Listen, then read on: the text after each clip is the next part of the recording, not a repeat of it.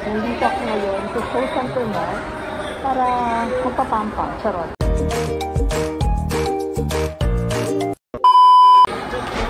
Hi guys, welcome back to my channel at nandito ako ngayon sa Center Mall para magpapampang. Charot. Para magpalinis ng kuko.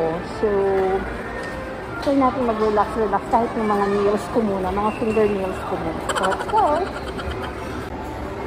so nandito tayo ngayon sa Liquid Gel Nail Salon. So, this is my second time para magpa magpapampang ng mga fingernails. Let's go!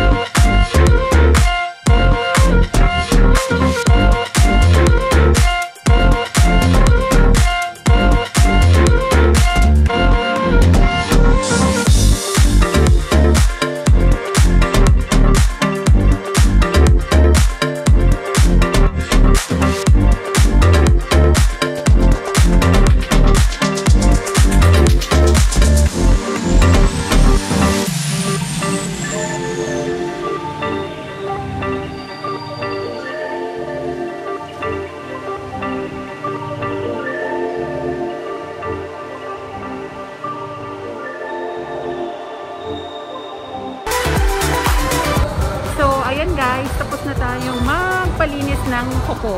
And look, nice ba? Skin tone lang. Ko masyadong ma-flex. Mahirap mag-video. Charot. I got my new nail color guys. Look. So, there you have it guys. Tapos na tayong magpalinis ng nails dito sa Liquid Gel Nail Salon at Show Center Mall, Mandaluyong City. You for watching this video and if you like this video, please don't forget to like, comment, share, and sa mga hindi pa nakakapag-subscribe, please subscribe na guys. Bye! Thank you for watching!